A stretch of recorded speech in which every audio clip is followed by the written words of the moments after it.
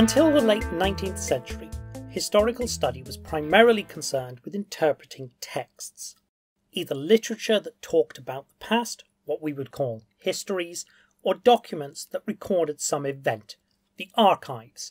Today, well, to be honest, since at least the early 20th century, historians have taken a much broader view of what constitutes a primary source, incorporating archaeology, numismatics, and art history, amongst other things.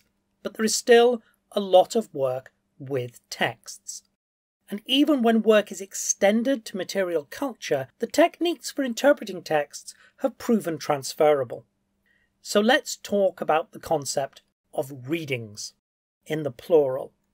Historians often use visual metaphors, lenses, filters, gazers, etc., to talk about the different ways you can read a text.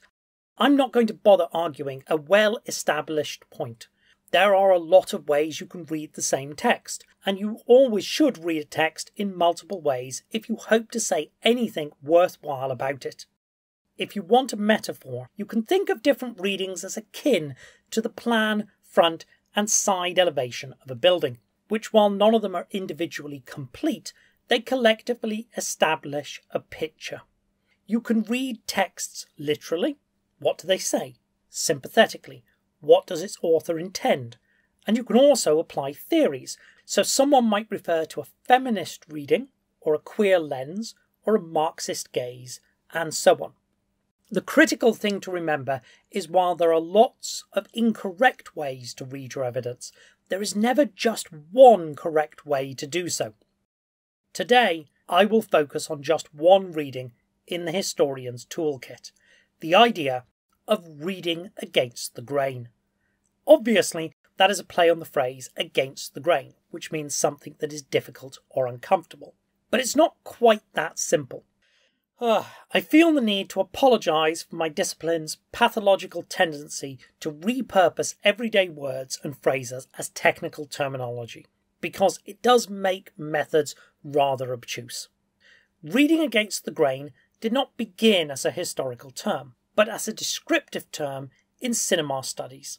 It appears in the late 70s and early 80s, initially to describe critics, especially feminists, with radical approaches to their subjects, and it was really taken on board as an idea by other subjects in the early 1990s.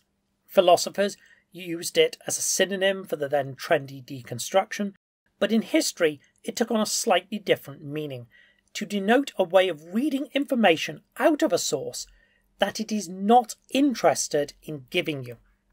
Now, that is a little bit woolly and like I say, this is a descriptive term. You will be frustrated if you go looking for historians giving a solid definition. Often, it's just used clumsily and pointlessly to mean critical. But amongst the ambiguity, there is a genuine technique which is worth practicing. And that essentially comes in two parts.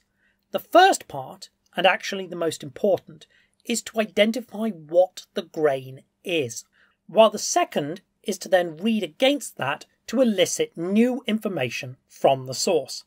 The grain is the natural way to read the text, which we tend to default into.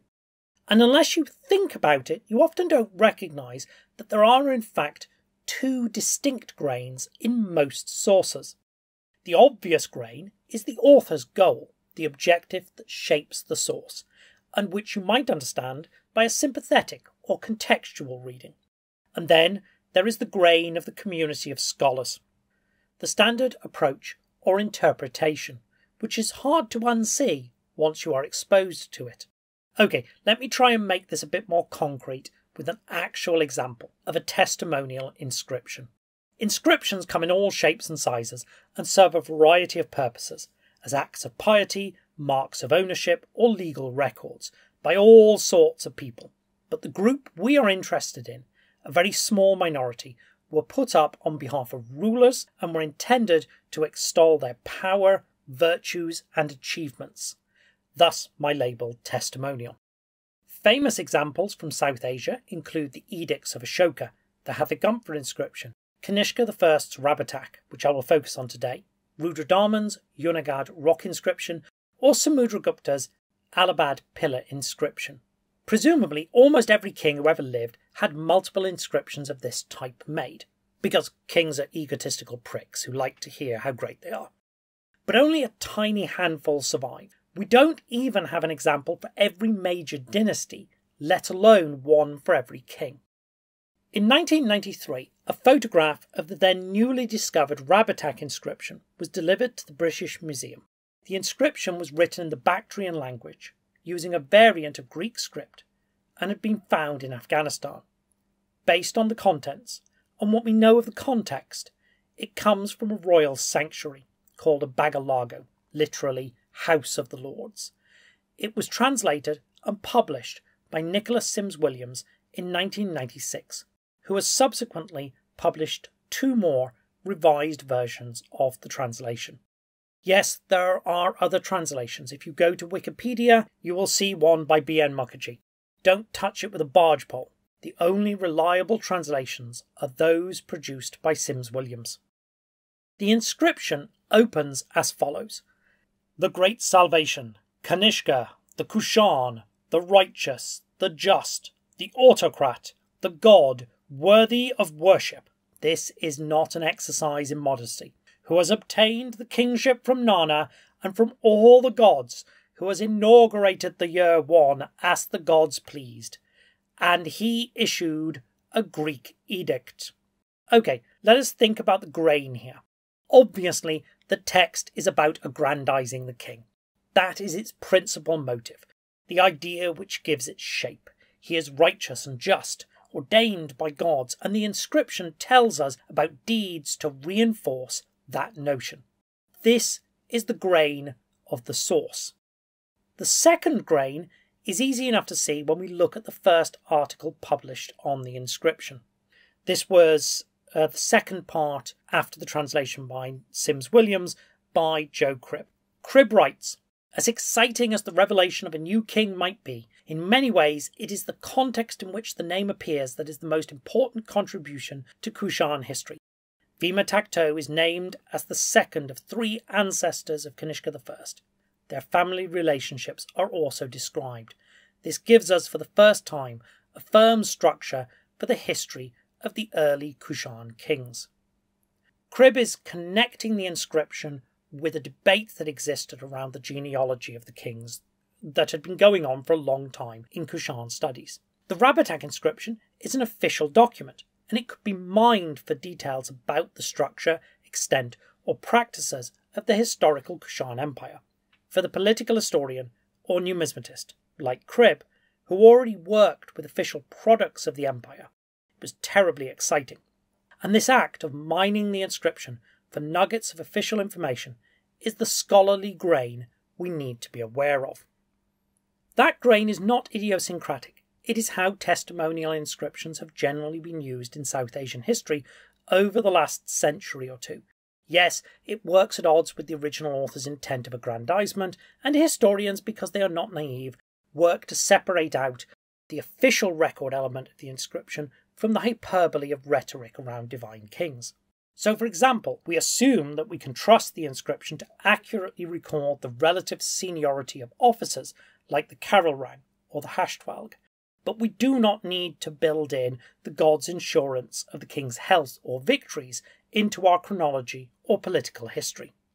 Except we can't really disentangle these so simply, and this is why it is important to read against the grain in the existing scholarship.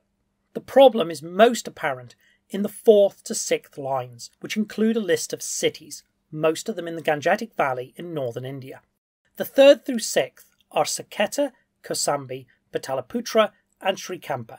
The first two remain unidentified, with the translator resisting the suggestion of Ujjain for the second. The question of how far into India the Kushan Empire extended, like the genealogy, has long been a source of debate, and though the Rabatak inscription flatly contradicted the existing evidence, it was widely seen as resolving the issue.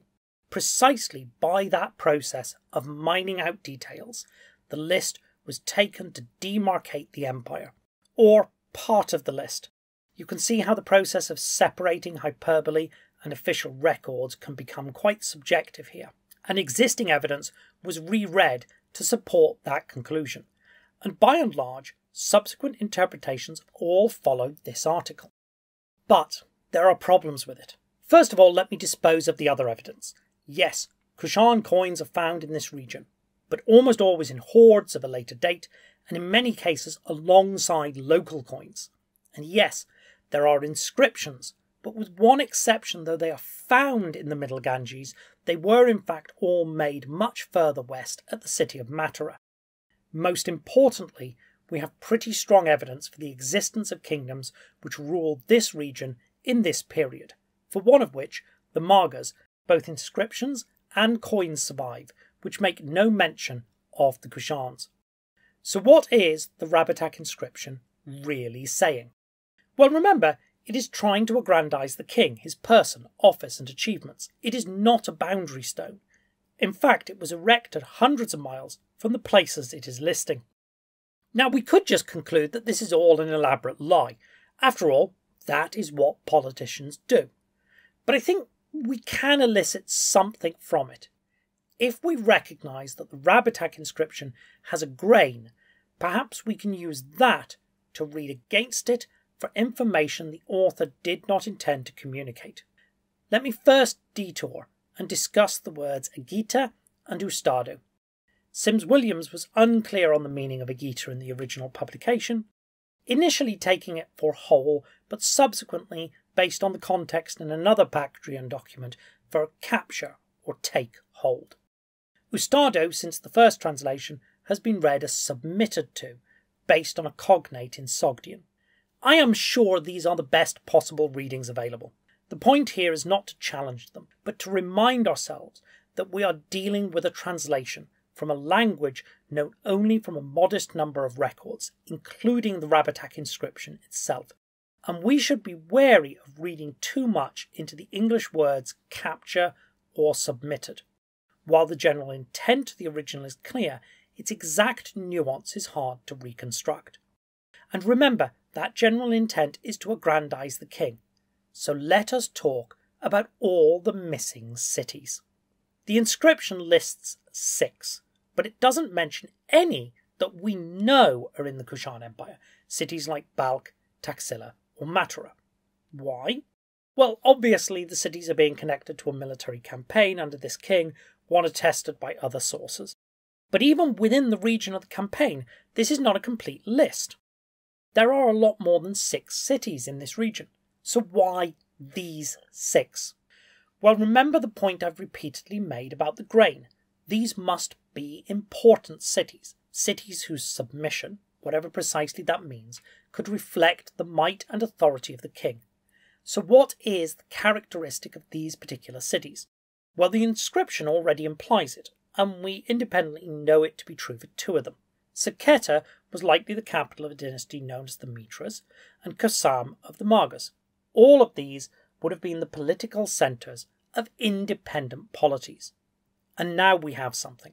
The king's power is only revealed by the submission of independent rulers. So, what the Rabatak preserves is not, as the traditional reading where nuggets of administrative, political, chronological data are mined for, suggests a demarcation of the boundaries of the empire, or, as the author would have it, a measure of the king's military prowess, but rather a political map of the middle and lower Ganges in the early 2nd century AD, one that is inherently interesting. Societies east of the Magas and Mitras do not make coins in this period, so without inscriptions, and very few survive, they are archaeologically invisible. Without Rabatak, we would not know that at this time the region of Magadha, with its centre at Pataliputra, was an independent kingdom, or that there was another around Srikampa. And thus, read against the grain, does the inscription yield something of value quite unintended by the sycophantic officials responsible for its installation. Reading against the grain is not a complicated technique, nor should it ever be the sole reading of a text. But there is value, as in this case, of recognizing the grain in the text. In this case, that it is about the Kushan king, or the grain of scholarship, that our job is to sift usable data about the Kushans from the hyperbole. As the scholarship on this inscription shows, while much of your reading is often with the grain, if you don't stop and ask these questions, it's easy to slip up in some part. And once you stop to ask, what is the grain? How might I read against it? You realise that the text has something to say entirely unrelated to its apparent subject.